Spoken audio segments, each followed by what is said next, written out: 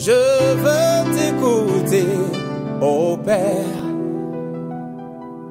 Parle-moi encore et encore.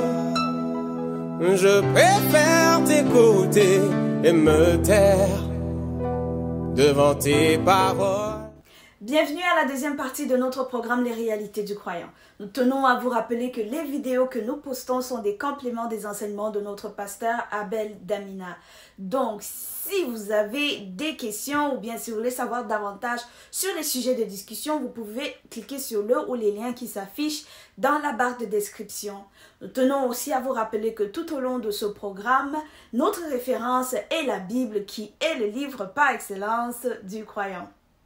Dans Genèse chapitre 3, versets 16 à 19, nous voyons que Dieu énumère un certain nombre de choses qui vont arriver à Adam et Ève dues à leur désobéissance. Donc, ils ont mangé le fruit interdit.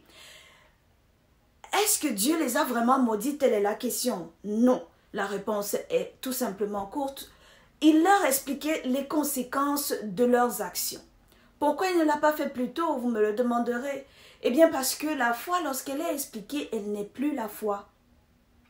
Lorsque Dieu dit à Adam, tu ne mangeras pas de ce fruit, il s'attend à ce que Adam ait une foi absolue en ces mots-là. Abraham aujourd'hui est appelé le père de la foi. Pourquoi? Parce que sans avoir vu la terre promise, ni même où elle se trouve, il a pris ses bagages et sa famille et ils sont partis. Aujourd'hui, nous avons la foi en Jésus-Christ et en ses œuvres. Par sa mort, par sa vie, sa mort et sa résurrection, nous avons maintenant le salut éternel. Nous avons la vie éternelle. N'est-il pas merveilleux? Oh,